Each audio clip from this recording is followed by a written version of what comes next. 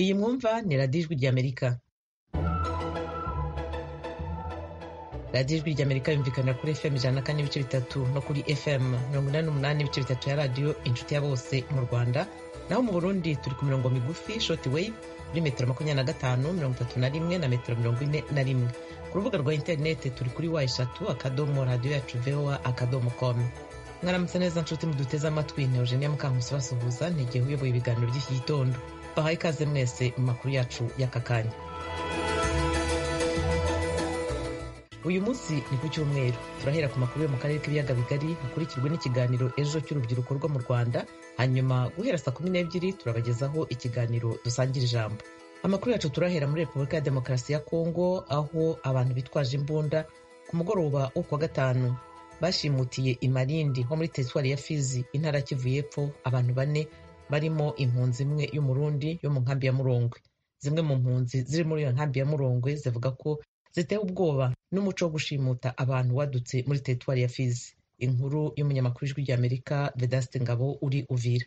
Nk'uko bitangazwa n'umuyobozi wungirije wa sosiyete sivile mu mujyi wa baraka bwana motari wa murendera mateso avuga yuko bantu bane bashimuswe bageze imarinde mu birometero bigera kuri cumi na bibiri n'umujyi wa baraka barimo abakozi babiri b'ishiramwe rya dra n'impunzi imwe yari yahawe lifti hamwe n'umuturage umwe wari usanzwe agemura imbaho mu nkambi ya murongwe. Uku gushimutwa kw'abo bantu bari bavuye mu nkambi ya murongwe berekeza mu mujyi wa baraka abyemezwa n'umuyobozi w'iyi nkambi dominique ntamubana. Hari imodoka y'ishyirahamwe rya hadra risanzwe rifasha muri iyi site ya murongwe ibijyanye no kwiteza imbere. Yari bari batashe hanyuma rero harimo n'impunzi imwe bari bamwunguruje. Hanyuma rero bageze hirya y'ikambi nko ku birometero bibiri ni ho bahura n'abagizi ba nabi barabahagarika. Babahagarika bafise intumbero y'uko baca babakura mu muduga bakabajana. Barabajanye amakuru dufise nuko bajanye abantu bashika kuri bane harimwo abakozi babiri b'iryo shirahamwe adra hamwe n'uyundi yariko arakorera igikorwa adra co gushinga amamashini ahura ibigori hamwe rero n'iyo mpunzi imwe yahoze ari na arongoye n'iyi kambi yacu yitwa remi mathieu bigirimana. Ayo makuru ni ay'ukuri aka karere turabona yuko tutorohewe na gatoya kuko si ubwa mbere bibaye. Murabizi yuko ata mwaka wari bwahere bari bajanye umukozi wa hcr baramumarana igihe. Murabizi yuko hari n'umukozi wa msf byabaye ko binatuma iryo shirahamwe ritagikorera muri aka karere kacu. Turabona yuko ari ikibazo kitoroshe. Bamwe mu bakozi b'ishiramwe rya dra bavuganye n'ijwi rya amerika bemeza yuko ari abantu bane baraye bashimuswe. Barimo abakozi babo babiri ba dra bari bavuye mu nkambi ya murongwe aho bari biriwe mu mirimo yo guhugura amashiramwe y'impunzi. Ibijyanye no kwihangira imirimo. Nubwo bamwe muri abo bakozi ba dra birinze kuduha amajwi bavuga yuko bashimuse bagenzi babo. Bari gusaba amafaranga angana n'ibihumbi mirongo itanu by'amadolari kugira ngo babarekure. Uyu muco wo gushimuta abantu wadutse muri iyi teritwari ya fizi yiganjemo imitwe yitwaje ibigwanisho uteye impungenge zimwe mu mpunzi z'abarundi ziba mu nkambi ya murongwe. Jacqueline niyonsaba ni impunzi yo mu nkambi ya murongwe. Jewe n'ukuri nk'impunzi yo ngaho imurongwe numva ubwoba bwinshi cyane kuko ibi bintu biriko biraba muri iyi zone fizi ni ibintu bidutera ubwoba cyane kumva nk'ejo ngo hari mu gihe cy'isaha icenda ngo abantu abakozi bo muri yadra bahajya ariko barava mu kazi batashe iyo baba ibaraka ngo bafatiwe aho hantu bitwa imarindi ariko ni ibintu bidatahurika aho hantu kuko ijya modoka ibirimwo n'amaburi bakunze kugenda batari munsi y'abantu barenga bane. Kumva aho hantu bafatiwe ni ahantu hafi y'igisagara c'imihana ariko nta muntu n'umwe yashoboye gutabara. Rero twebwe nk'impunzi ngaha kandi urumva ko harimwo n'umurefugee ari muri iyo modoka mugenzi wacu. Dufise ubwoba bwinshi kuko ibintu biguma biducako kuva aho dushikiye muri iyi kambi ni byinshi.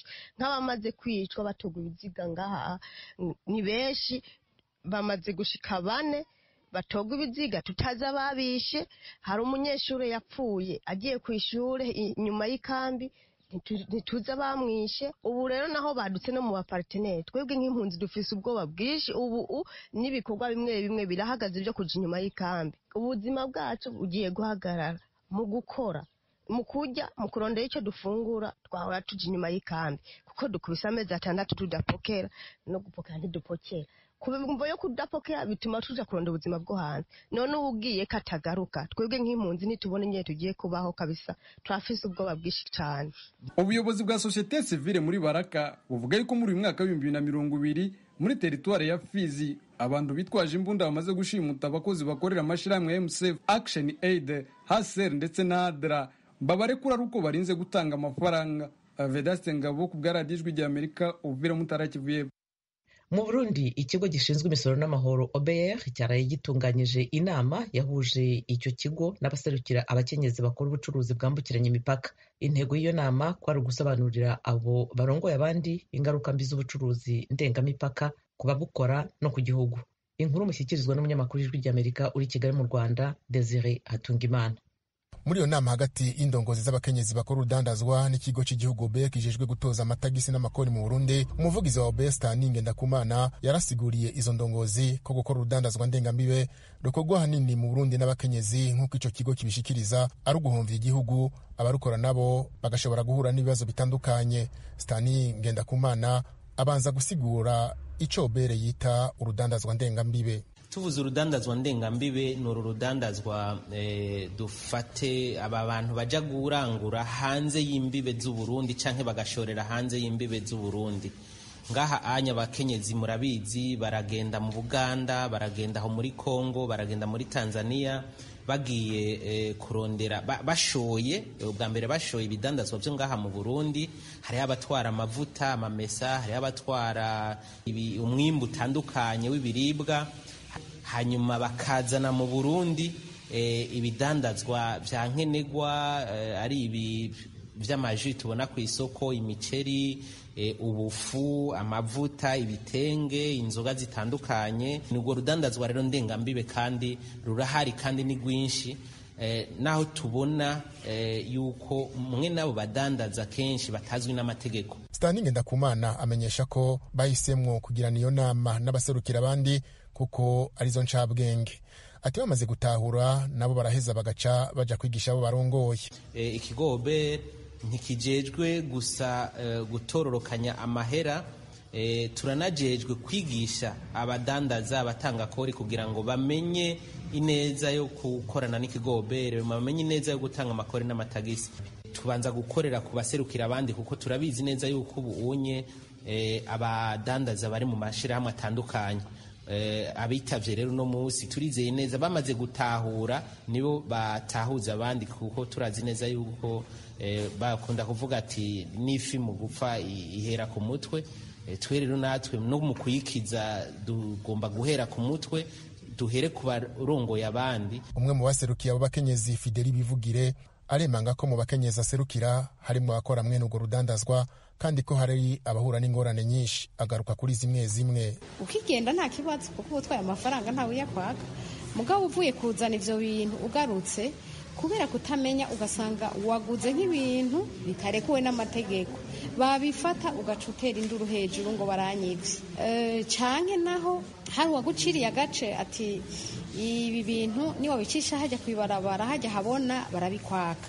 Agaca agerageza guca mu mazi canke akabihereza hariho utwana twama tuza kubatwaza imizigo twamenyereye guca mu mazi tukabatwaza bogoroye bagaheza bagaca babaha amahera.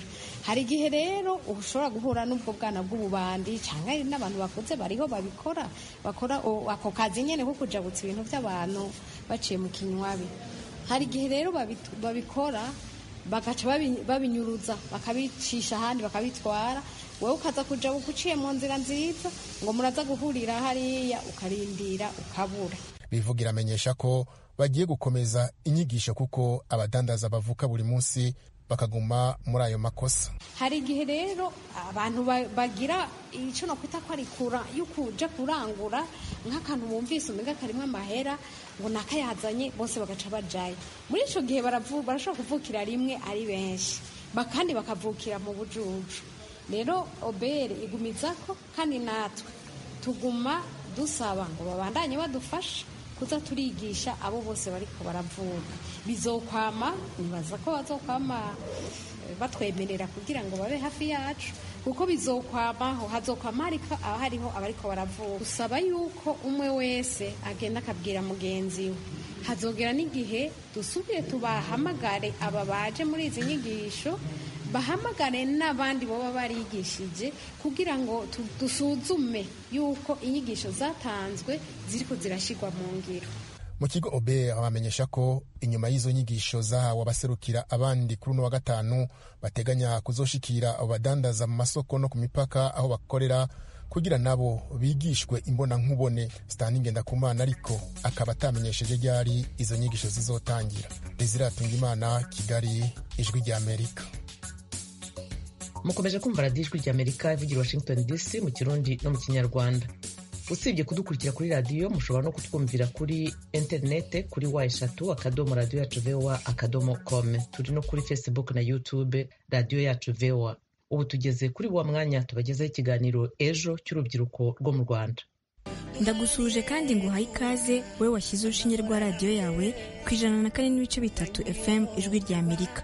Uyu ni umwanya w'ikiganiro ejo mutegurirwa kandi mukakigezwaho n'umuryango ejo youth eco ukoresha itangazamakuru mu kubaka umuco w'amahoro mu rwanda no mu karere k'ibiyaga bigari. Ni ikiganiro gihagarariwe na nigeneroje naho mizero crispin akaba ari ku buhanga bw'ibyuma. Muri studio mugiye kubana nanjye nicole gira neza mu kiganiro ejo cy'uyu munsi tugiye kuganira ku mibereho y'abantu bafite ubumuga muri ibi bihe turebera hamwe ingaruka iki cyorezo cyabagizeho uko babyitwayemo ndetse n'ikiri gukorwa mu rwego rwo kubafasha guhangana n'ingaruka zinyuranye bahura na zo. Reka nkubwire kurikira ikiganiro ejo kuri radiyo ijwi rya amerika ni ku ijana na kane n'ibice bitatu fm abafite ubumuga babarurirwa mu byiciro bitanu. Hari abafite ubumuga bwo kutabona ubumuga bw'ingingo abafite ubumuga bwo kutumva no kutavuga abafite ubumuga bwo mu mutwe n'icyiciro cy'abafite ubundi bumuga ari cyo kibarizwamo abafite ubumuga bw'uruhu ubugufi bukabije n'ubundi. Guverinoma y'u rwanda yihaye intego zitandukanye zigamije gukomeza gushyigikira abafite ubumuga. Raporo y'inama y'igihugu y'abafite ubumuga yagaragaje ko muri miliyoni cumi n'ebyiri z'abanyarwanda harimo abafite ubumuga barenga ibihumbi magana ane na mirongo ine na batandatu kandi muri bo abashyizwe mu cyiciro cy'abafite ubumuga bukomeye barenga ibihumbi ijana na mirongo itanu na bine. Muri abo abafite ubumuga bw'ingingo ni mirongo ine n'umunani n'ibice bine ku ijana abafite ubwo mu mutwe ni cumi na batandatu n'ibice bine ku ijana ab'ubumuga bwo kutabona bagera kuri cumi n'umwe n'ibice bine ku ijana mu gihe abafite ubundi bumuga burimo ubw'inyonjo ubw'ubugufi bukabije ndetse n'ubw'uruhu rwera n'ubundi bushobora kwemezwa n'abaganga bo ari cumi n'umwe n'ibice bibiri ku ijana. Muri ibi byiciro hanagaragaramo icy'abafite ubumuga bwo kutumva no kutavuga bangana n'icumi n'ibice bitatu ku ijana n'abandi bashyizwe mu cyiciro cy'abafite uruhurirane rw'ubumuga butandukanye bagera kuri babiri n'ibice bitatu ku ijana. Mu bafite ubumuga mu rwanda barenga ibihumbi magana ane na mirongo ine na batandatu minisiteri y'ubutegetsi bw'igihugu ivuga ko abamaze gushyirwa mu byiciro by'ubudehe ari ibihumbi ijana na mirongo itanu na bane. Muri abo bashyizwe mu byiciro by'ubudehe abari mu cyiciro cya mbere bangana n'ibihumbi cumi na kimwe nibo bazagenerwa ubufasha burimo no guhabwa insimburangingo n'ibindi hakurikijwe ibyiciro by'ubudehe babarizwamo bakanongererwaho ubufasha bujyanye n'ubumuga buri muntu afite. Bimwe mu bikorwa byakozwe mu guteza imbere imibereho y'abafite ubumuga harimo ibikorwa by'uburezi ubuzima ndetse n'ibikorwa remezo bibafasha mu buzima bwa buri munsi. Zimwe mu mbogamizi bagihura na zo harimo no gukoresha ikoranabuhanga urugero ni nko gukoresha icyuma cyo kubikurizaho amafaranga ndetse n'ibindi. Nawe uduteze amatwi muri iki kiganiro dusangiza igitekerezo cyawe. Twandikira ubutumwa kuri telefoni igendanwa ariyo zeru karindwi makumyabiri n'umunani zeru kabiri mirongo inani na kabiri mirongo itatu na kabiri cyangwa kuri zeru karindwi mirongo inani na karindwi mirongo itanu n'umunani cumi na kane cumi na rimwe. Wadusanga no ku mbuga nkoranyambaga ari zo instagram facebook na twitter wandika ejo youth eco reka noneho dukomereze iki kiganiro ku bitekerezo byakusanyijwe na mugenzi wacu noel ishimwe ubwo yasuraga abafite ubumuga banyuranye maze bakamubwira ibibazo bahura na byo muri iki gihe cy'icyorezo cya covid cumi n'icyenda ndetse n'uko babyitwaramo. Mfite ubumuga bw'ingingo. Kovide yangizeho ingaruka kubera ko mu gihe cyo kuguma mu rugo akazi nakoraga karahagaze. Icyo gihe rero kubona ibinunga byarangoye.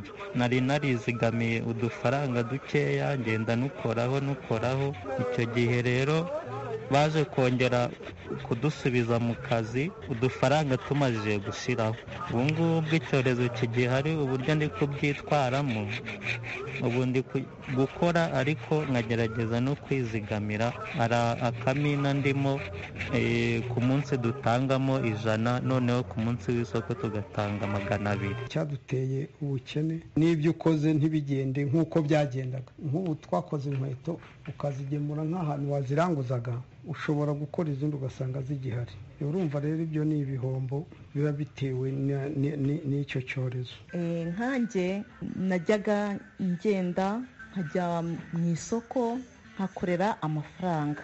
Ubu ngubu ntakiboneka. Hari igihe wenda n'abagize umuryango bashoboraga kugira n'ikintu banshyiriraho abo bagize umuryango ubu nabo baba bahanganye n'ibyabo. N'ubusanzwe afite ubumuga akenshi duhangana n'ikibazo cy'irungu cyangwa se cya kato. Noneho rero iyo haje mwiri kuguma mu rugo ibyo byose bishobora gutuma noneho wa muntu ufite ubumuga twumva turi ukwacu kurushaho noneho.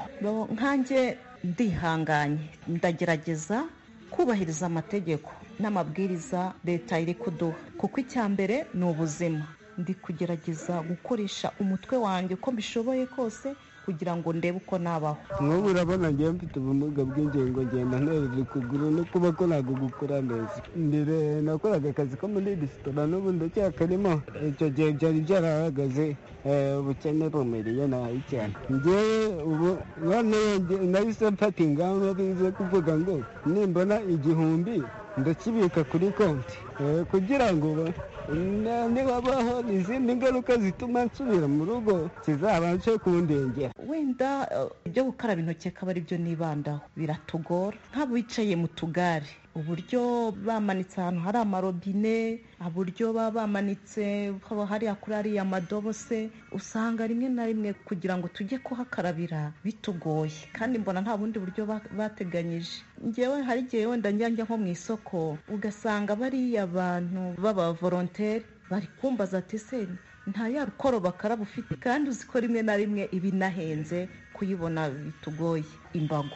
Gukaraba ako kanya nta kintu cyumutsa gihari burya iyo ufashe ku isabune ugakaraba twahita dufata kuri za mbago zacu biranyerera ku buryo bishobora no kuduteza izindi mpanuka. Naho bitugora abashoboye baradufasha. Ibyambayeho nko kuri banki bakoresha kandagira ukarabe yo gupompa amazi.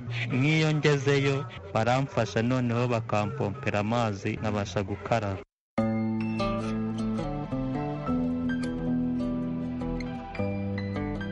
Barakoze cyane aba twaganiriye bafite ubumuga. Zimwe mu ngaruka zabagezeho harimo ubukene kubura akazi irungu ndetse no kwigunga kubera akato bahabwa n'abantu bamwe na bamwe. Mwiyumviye kandi ko kuri ubu hari bamwe babashije kurenga ibyo byose bakagira icyo bakora bakaba bizigamira kugira ngo imibereho yabo idahungabana cyane. Nawe uduteze amatwi muri iki kiganiro dusangiza igitekerezo cyawe. Twandikira ubutumwa kuri telefoni igendanwa ariyo zeru karindwi makumyabiri n'umunani zeru kabiri mirongo inani na kabiri mirongo itatu na kabiri cyangwa kuri zeru karindwi mirongo inani na karindwi mirongo itanu n'umunani cumi na kane cumi na rimwe.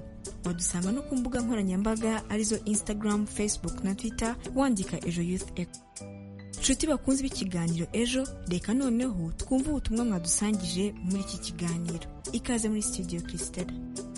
Niko rakoze rero bakunzi b'ikiganiro ejo mudukurikiye nanjye ndabasuhuje. Ubutumwa ngiye kubasomera bugiye kugaruka ku mibereho y'abafite ubumuga muri iki gihe cya covid cumi n'icyenda. Reka ubutumwa bwa none mbuhere kuri ntirenganya jean de dieu aho yagize ati abafite ubumuga hari aho birengagijwe. Mpereye ku nko ku makarabiro rusange ari muri za gare n'amasoko. Abafite ubumuga ntibigeze bateganyirizwa aho gukarabira. Naho hakizimana ezekeri uherereye mu karere ka nyamasheke yagize ati ndabashimiye cyane ku bw'iyo nsanganyamatsiko. Urakoze cyane gushima. Yakomeje avuga ko muri ibihe bya covid cumi n'icyenda imibereho yabo yasubiye inyuma kuko bamwe ibyo bakoraga byarahagaze. N'uwari warizigamiye amafaranga runaka nawe mu gihe cyaguma mu rugo yarayakoresheje.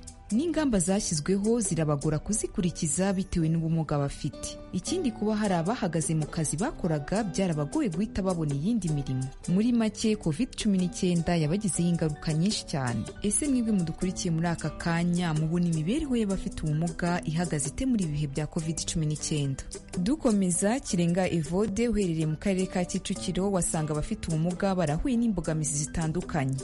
Atari ku bamwe bagerageje guhangana n'ingaruka z'ubushomeri bashaka indi mirimo bakora yatuma babaho muri bino bihe. Reka ubutumwa mbuhinire kuri kwizera uherereye mu murenge wa kagarama aho yagize ati abafite ubumuga bagomba kwitabwaho kuko usanga bafite imbogamizi zitandukanye. Nahera ku bana bafite ubumuga badafite uko bakurikirana amasomo muri ibi bihe amashuri ataratangira. Bakunze b'ikiganiro mukomeze mutwoherereze ubutumwa turakomeza tubwakire. Nikore wasubirana ijambo ugakomeza n'ikiganiro. Urakoze christella. Ndabashimiye mwe mwatanze ibitekerezo muri iki kiganiro. Mbibutsa ko mwakomeza kugira uruhare muri iki kiganiro. Mutwandikira ubutumwa kuri telefoni igendanwa ariyo zeru karindwi mirongo inani na karindwi mirongo itanu n'umunani cumi na kane cumi na rimwe ndetse no kuri zeru karindwi makumyabiri n'umunani zeru kabiri mirongo inani na kabiri mirongo itatu na kabiri. Mudusange no ku mbuga nkoranyambaga ari zo instagram facebook na twitter. Mwandika ejo youth reka nkubwire kurikira ikiganiro ejo kuri radiyo ijwi rya amerika ni ku ijana na kane n'ibice bitatu fm nubwo abafite ubumuga bagaragaza ko hari icyo bari gukora mu rwego rwo kwirwanaho muri ibi bihe birakwiye ko bitabwaho nk'abari mu cyiciro cyihariye kandi gikeneye ubufasha. Ku murongo wa telefone mugenzi wacu ishimwe honore yaganiriye na karangwa francois savier umuyobozi nshingwabikorwa w'umuryango utegamiye kuri leta ugamije kongerera ubushobozi abafite ubumuga amubaza icyo bari gukora mu rwego rwo kubakira ubushobozi abafite ubumuga muri iki gihe na nyuma y'icyorezo cya covid cumi n'icyenda. Turi kumwe na karangwa francois savier akaba ari umunyamabanga nshingwabikorwa w'umuryango utegamiye kuri leta ugamije kongerera ubushobozi abafite ubumuga mu byiciro bitandukanye. Karangwa turagira ngo mutubwire hashingiye ku buryo icyorezo cya covid cumi n'icyenda cyatunguranye ndetse n'ingaruka gikomeje guteza ni iki kiri gukorwa mu kubakira ubushobozi abantu bafite ubumuga mu byiciro binyuranye? Gahunda iriho muri ino minsi ni uko abantu batangiye cyangwa bagiye no gukomeza icyo nakwita kurivayivinga cyangwa se kuzahura. Abantu bafite ubumuga reka nkoresha ijambo rikunzwe bari nk'ibyo bakoraga byarabakubiswe rwose bijya hasi kugira ngo noneho abantu babashe kuzamuka gatoya. Reka mbanze mvuge ko yenda abantu bafite ubumuga nka mirongo icyenda na gatanu ku ijana bibasiwe n'ingaruka z'icyorezo cya covid cumi n'icyenda. Icyorezo kiracyahari uyu munsi ntikirashira. Navuga ko twageze kuri polisiyo ntoya y'abanyarwanda ntabwo twageze ku banyarwanda bafite ubumuga ijana ku ijana. Ariko kandi n'indi miryango ihari imiryango nterankunga amashami ya un akorera muri iki gihugu leta y'u rwanda biciye muri za minisiteri zitandukanye n'ibigo byazo ndetse uturere n'imirenge kugira ngo twongere duhure kugira ngo bongere begere imiryango y'abantu bafite ubumuga hanyuma twongere duhe indi nkunga abantu bafite ubumuga baba baragezweho n'icyorezo cya kovide cumi n'icyenda. Hejuru y'ibyo noneho turiho turagerageza no kongera ubushobozi nari ntibagiwe ngo ndavuga guhugura abaganga ndavuga izitwa za komite ziba ku rwego rw'akarere zigamije guhangana na kiriya cyorezo cya korona cumi n'icyenda kugira ngo bamenye uko bashobora gutanga serivisi iri furendiri ku bantu bafite ubumuga kugira ngo bamenye uko abantu bafite ubumuga bakwinjizwa muri iyo gahunda. Dushyiraho nimero y'ubuntu abantu bahamagara ukenera ubufasha. Nimero y'ubuntu ya mirongo ine n'umunani mirongo itandatu n'umunani murakoze.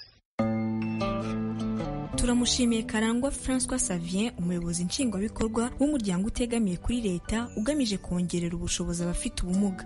Yavuze ko mirongo icyenda na batanu ku ijana by'abafite ubumuga bagezweho n'ingaruka za covid cumi n'icyenda. Kimwe mu byo bakoze harimo kubaka ubushobozi mu baganga bakabasha gufasha abafite ubumuga ndetse no gushyiraho nimero y'ubuntu bahamagaraho mu gihe bakeneye ubufasha. Nawe uduteze amatwi muri iki kiganiro dusangiza igitekerezo cyawe.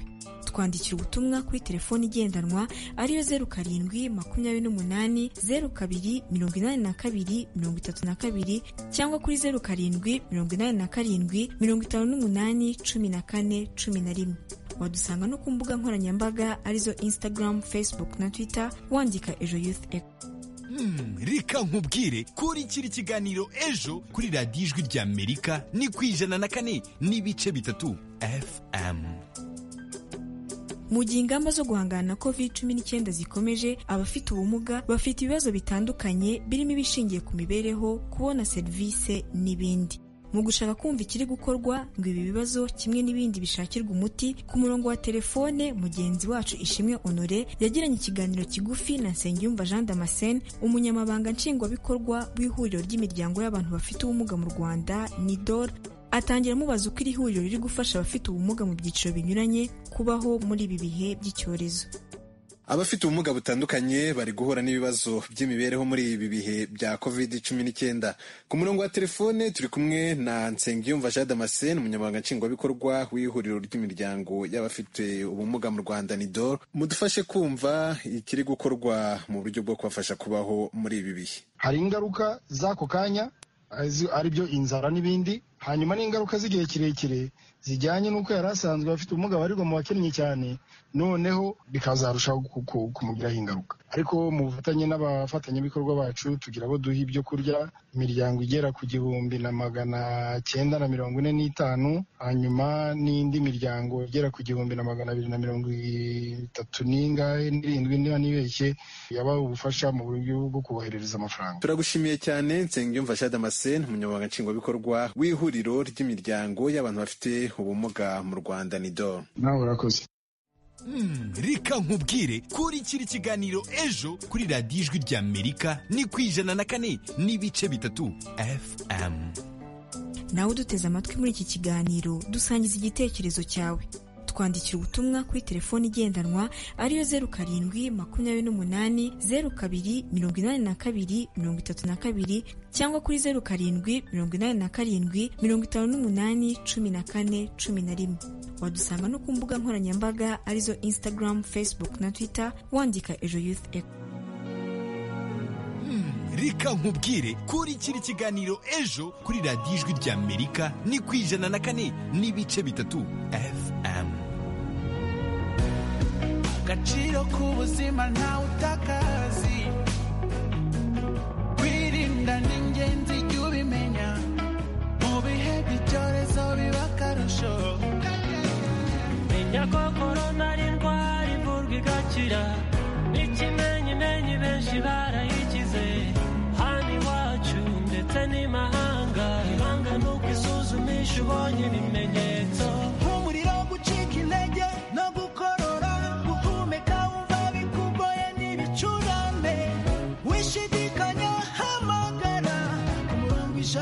cumi na kane.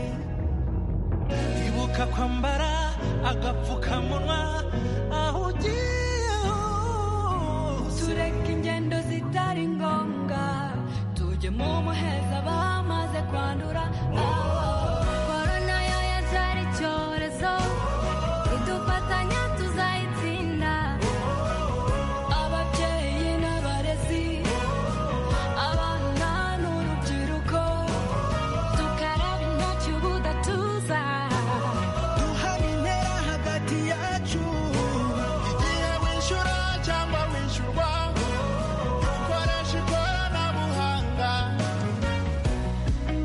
Shabbat.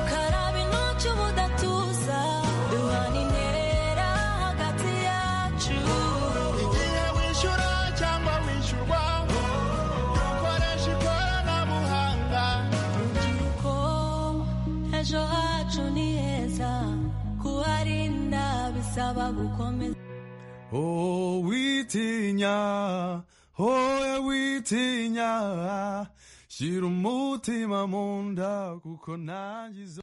Turabashimiye bagenzi bacu batugejeho ikiganiro ejo. Mu masegonda make ni ikiganiro dusangira ijambo. Reka rero mbashimire gukomeza gukurikira radiyo yanyu ijwi ry'amerika aya majwi yashyizwe hamwe na fatuma karara animase kuri mikoro mwari kumwe nanjye eugenia mukankusi tubaseze tubifuriza